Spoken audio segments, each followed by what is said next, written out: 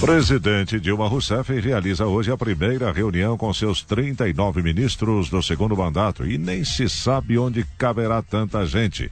Tem que ser uma sala bem grandona. A presidente dirá aos 39 ministros que eles terão de cumprir as determinações de corte de gastos e de investimentos que estão sendo propostas pela nova equipe econômica do governo. Olha, é bom lembrar, o governo Dilma ele bate recorde no número de ministérios. Nunca na história desse país, plagiando aí o Luiz Inácio Lula da Silva, a máquina foi tão inflada com pastas para agradar aliados e simpatizantes do governo. Só para se ter uma, uma breve ideia, no governo Sarney havia 31 ministérios. No governo Collor, ele achou que era que eram muitos ministérios, reduziu esse número para 17 pastas. FHC aumentou novamente para 34. E o PT de Lula inventou mais quatro pastas até chegar atualmente aos 39 ministérios de Dilma Rousseff. Lembrando que esses 39 ministérios da presidente custam mais de 58 bilhões de reais por ano ao Brasil.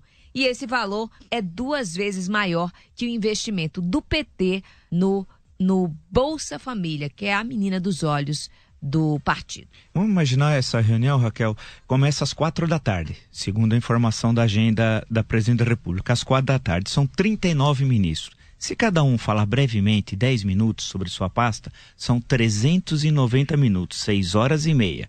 Portanto, começou às quatro, 6 horas e meia só para dar uma apresentação. E a presidente amarra essa análise dos 39 ministérios, vamos dizer que em meia hora. Portanto, são 7 horas. Começou às quatro da tarde mais sete horas de reunião. Uh, e aí vai abrir a discussão. Isso sem intervalo, sem refeição, sem café, sem absolutamente nada. Vamos dizer que na discussão, cada ministro, retomando a palavra, possa ter direito a 10 minutos para fazer um apanhado geral. E a presidente encerra a reunião em meia hora, num total de 14 horas, que é o mínimo para ter uma discussão. 14 horas. Se começou às quatro da tarde, caramba, que hora vai terminar? Que utilidade ter uma reunião dessa? Com 39 ministros, vai ter que fazer uma reunião setorial. Isso aí é só para aparecer na imprensa no dia seguinte. Isso, a gerentona, que faliu a loja de 1,99 que ela tinha em Porto Alegre, a gente tem de sempre lembrar, ela tinha uma loja nova. A única coisa que ela administrou na vida faliu. Uh, ela faz o ar de gerentona. Isso, se fosse uma empresa, estava falida. Porque imagina uma reunião que vai ter, teria de ter no mínimo, para com 39 pessoas, é 14 horas de duração, começando às quatro da tarde e tal. Isso é para aparecer na imprensa, isso não tem eficiência administrativa nenhuma e é um verdadeiro absurdo o encaminhamento administrativo, ou seja, mostra que de gerente ela não tem nada, que ela é uma, tem uma absoluta incapacidade, além de não saber falar, a gente não entende a língua, ela fala um dialeto chamado de um mês, que nunca há um acerto entre o sujeito, entre o verbo, o predicado, não tem vírgula, não tem ponto, ela administrativamente é um desastre, ou seja, isso é piada, é pra gente amanhã falar um pito que ela deu em ministro, porque ela acha que governar é gritar. Ela chegou até a tirar objeto em assessores. Quer dizer, isso não é a forma de administrar, isso é farsa.